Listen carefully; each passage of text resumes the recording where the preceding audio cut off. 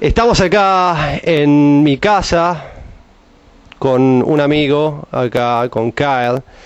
Kyle estuvo tocando, bueno, él tiene su propia carrera como solista, como songwriter y, toca excelente. Me gusta mucho su música. Pero en el pasado también ha tocado con Gilby Clark en una banda que se llamaba Candy. De ahí que a veces lo tomamos su música por el lado del rock, ¿ok? Eh, bueno, lo tenemos acá y nos va a contar un poquito qué está haciendo en estos momentos. Kyle, Hey, how are you? Nice How to are see you? you. Nice to see you, Lucas. tell me what's going. What are you doing? Uh, you produce so many CDs uh, after Candy, obviously. So what's going on with you in the present? Yeah, right now uh, I'm working. Uh, I'm in the studio again. Um, working on my eleventh album, if you can Wow. believe that. Yeah, I know it's a lot. I, I think I've made the most albums uh, in the history of the world for somebody who is not famous, maybe. But uh, but yeah, so I'm, I'm working on eleven and um, and uh, touring. You know, playing. I'm out in LA right now playing shows, and I just keep doing that. As long as the people uh, say they like it, I'll keep going. What is the name of the new CD? You're gonna. Do you have something? Do you have more information? I don't know the newest one. I'm I'm in the studio right now, so I don't I don't really have a name. I have an idea, but uh, but I'm not sure yet. Um, Okay. Yeah, the last the the previous CD, Yes. I did a um. Uh, I call it the best so far because I hope it. You know, a lot of times you do your best of and your career is over with. So. Okay, yeah, the best. I just this is this was um, you know the reason I did this was because I, I'm on airplanes. Uh, I fly on airplanes a lot, and I meet people. Right? They go, "What is your music like?" And I wanted uh, like a calling card. I wanted like all in one place because otherwise it was like, well, if you if you're mellow, you'll like this one. If you rock, you might like this one. If you you know. So you have a, So- something for everyone. Yeah, yeah, yeah. So this is like the what I think is the best from each album. Um, yeah, But this is a best of, right? best of yeah. Yeah, yeah, yeah. Yeah. Because Ariane is from yeah. know, I can't call it greatest hits because I really haven't had any hits, sort of. So I couldn't really do that. No, not even one. Well, maybe one baby. Oh, One- okay, one little. okay. Small Don't be so humble, okay? one small. yeah. Any any uh, any story you can tell about your in the beginning when you were in Candy? Most of the candy stories I I'm unable. I can't tell you because I'd probably be arrested. But but um, uh, boy, there's so many stories with candy. It was really a it was a fun time. Um, it was you know the Sunset Strip was was kind of in a in a, a new period of it was emerging, and it was very exciting. I mean, every single night I went out to the Troubadour. Every single night, I saw Poison's first show. Wow. I saw Wasp's first show. I saw, you know, I mean, there's a lot of people who can say this, but it was just very exciting every single night. And uh, and Candy was, um, you know, we were really a, a pop band. We were very sweet pop, really, you know, because I'm I'm really a pop '70s kind of guy. I'm more like a, you know, a crooner singer. I'm not I'm not really a rocker. And the band, you know, Gilby is a little more of a rocker. And so I think when we got together, it, it was a kind of a nice blend uh, of the band. It was a little rock, but it was a little pop. And so we would be playing shows, and um, and we'd be playing with all these really tough rock bands, you know, like Ratt, you know, and Yeah, yeah, yeah. and who were friends of ours, you know, and we were friends with all of them.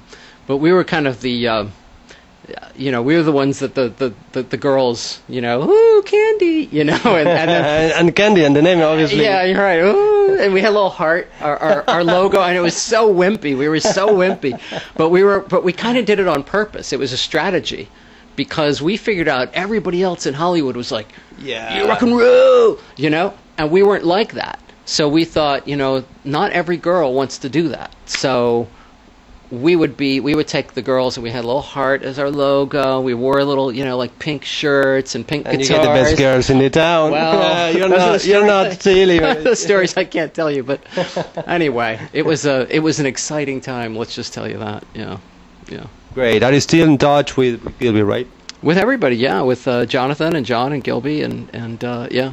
i've you talked about to do something together again? Well, I, actually, um, it's interesting you say that because I have tried for so long to get the Candy album uh, re-released. You know, um, Yeah, because it's hard to find. It's very hard to find, and it was remastered um, many years ago by uh, properly remastered, and um, and they were planning to release it. It never came out on CD, believe it or not. Uh, it had a catalog number, but it actually was never released on CD. It only came out on on vinyl LP and cassette, and. Um, so for about ten years now, I've been trying really hard to get it. So I find I just we just secured a deal with uh, a company in um, in England, a big and I'm just Rock Candy, Rock Candy, which is a, a Yes, big- yes. very big uh, reissue label, very big, and they're really good. And um, so they're going to put it out. I would guess probably early next year.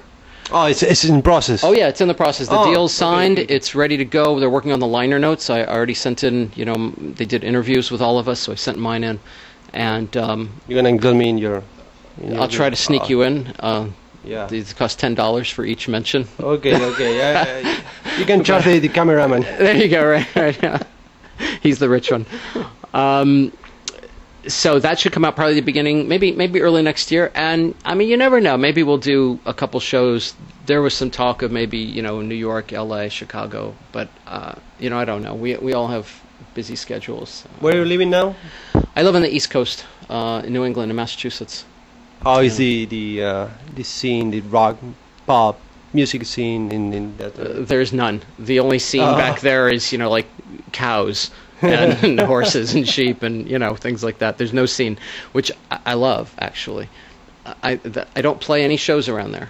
Oh, uh, okay. Purposely, that's just my home. So I just live there, and it's nice and peaceful and quiet, and that's just a separate, really separate life. And then I get on a plane and everything changes. My hair changes and you know the makeup. Yeah, yeah. I put on the sunglasses and I'm in Hollywood all of a sudden. yeah, those are mine. Don't forget. So yeah, I love it. I absolutely love it back there. But there. beside cows, there are some girls in the area, or or you are screwed, totally screwed up. No, I was referring to actual cows. To actually like moose. Yeah, no, no, no. I was was not speaking about the girls who are very lovely back there. You're gonna get me in trouble.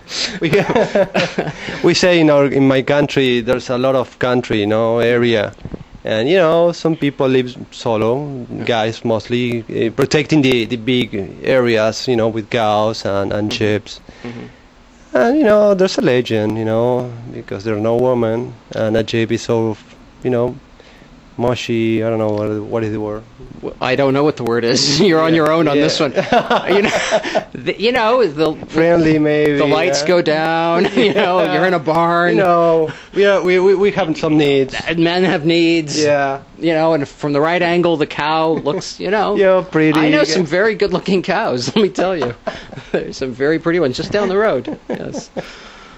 Great, man.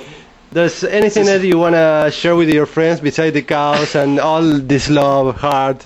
Yeah. Oh, you have the other CDs. You can Oh, show sure, them. You can not? tell them. Yeah. You can tell them where they can they can get the copies. Yeah, you know, just my website, kylevincent.com, or um, Facebook. You can go to my Facebook band page. That's the best way. Send me a, a email. Let me know you saw this interview, and I hope you edit it so that we sound look good.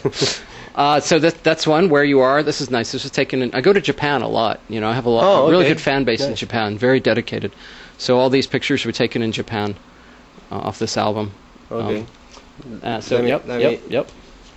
yeah. And um, bright. Yeah. okay, and then this one I do. This is the third in a series of. Um, that's why I call it C sides because right there's A sides, B sides. Yes, I know. She signs. Yeah. Essentially, this is crap.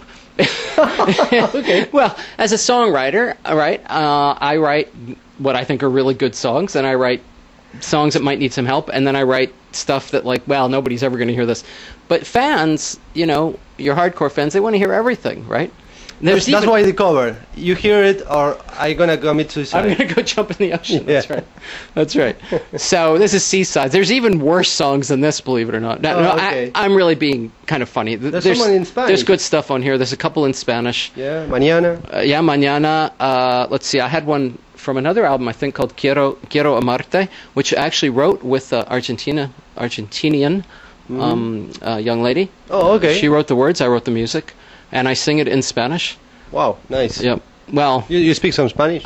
yeah, a little. Um, I, mostly when I go to a Spanish-speaking country, they they think I'm Italian because my Spanish Yeah, sounds Italian. Oh, nice. Like Argentinian style. Uh, yeah, kind of. Yeah. yeah, because we have the same accent. I mean, Yeah, and so I sang it Argentinian style with the jo and the jo and all that Sure. stuff. Yeah, yeah. Nice. Nice. Yeah, because the uh, because the lady was Argentinian, so she would uh, coach me.